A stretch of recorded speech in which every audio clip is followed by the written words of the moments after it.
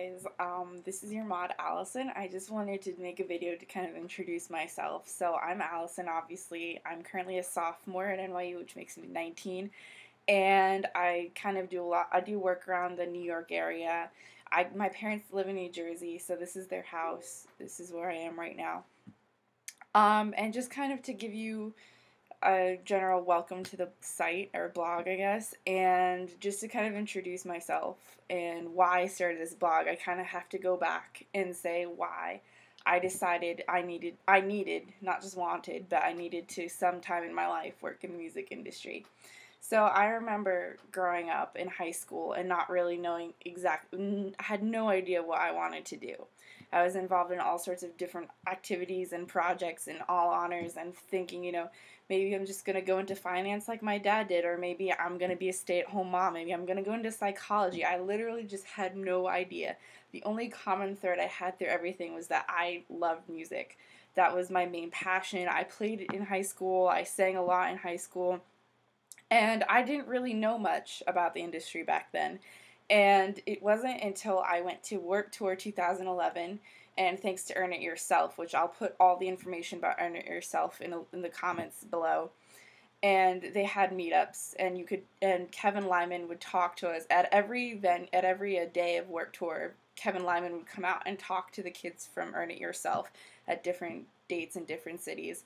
And I remember just sitting there listening to him talk because I had, at that moment I had felt so discouraged about working in the, in the industry because I saw kids my age, 17, 18, already on Warped Tour and already starting their careers and thinking, I don't know anyone in this business. I don't know anything about this business. How am I supposed to like this? It's like a pipe dream almost. But then I remember him saying that it took me years to get to where I am right now. Like I don't, I never, I didn't have the resources uh, when I first started, and you know what? I made everything. I made everything that I have right now, and that's the attitude you need to have going in. Is that you know, yeah, it's nice if you know someone who knows someone, but at the end of the day, it's not about that. It's about how hard you work and earning it yourself, as the program is called.